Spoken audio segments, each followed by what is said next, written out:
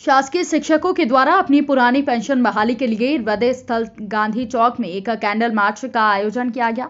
इस दौरान आपको बता दें कि उद्घोष राकेश कुमार जाटव, सीएससी नरवर केशव प्रसाद बारूदिया, सुरेंद्र कुशवाहा, उमाशंकर चौरसिया ब्लॉक अध्यक्ष ने मंच की शोभा बनाई। इस मौके पर कोरोना काल में दिवंगत शिक्षकों के प्रति शासन का असंवेदनशील रवैया और शिक्षकों के लिए शासन के द्वारा प्रदान महँगाई भत्ता का समय पर न मिलना आदि गंभीर मुद्दों पर शासन अधिकारियों और सरकार को अवगत कराया गया।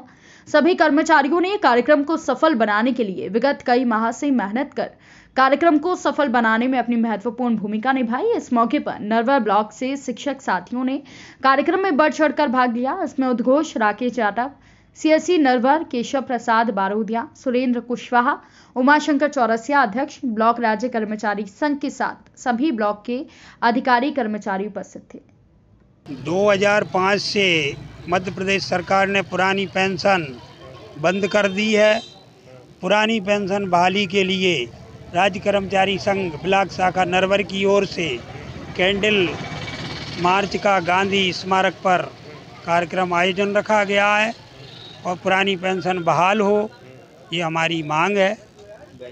मेरा नाम राकेश कुमार जाटव। मैं सी एस सी जे एस के बालक नरवर से हूँ। हमारे जितने भी सैकड़ों की संख्या में कर्मचारी लोग यहाँ एकत्रित हुए हैं वो पुरानी पेंशन बहाली के विषय में आए हुए हैं। क्योंकि पुरानी पेंशन बहाली एक अहम मुद्दा है सभी लोग इसकी पुरजोर मांग करते हैं सरकार से निवेदन करते हैं कि जल्दी से जल्दी पुरानी पेंशन बहाली की जाए। हमारी मांगें सर्वप्रथम पुरानी पेंशन बहाली की है कि ये निश्चित रूप से सरकार से निवेदन है कि जल्दी से जल्दी पूरी करें। केशव प्रसाद बरोदिया। क्या मांगे थी और क्या धरना प्रदर्शन कितने तक चलेगा ये हमारा धरना प्रदर्शन नहीं है ये हमारा कैंडल मार्च है सरकार को चेताने के लिए कि कर्मचारियों की पुरानी पेंशन बहाल की जाए। चूँकि सरकार द्वारा एनपीएस लागू किया गया है जिसमें 10 प्रतिशत हम कर्मचारियों का कटता है और 10 प्रतिशत सरकार देती है।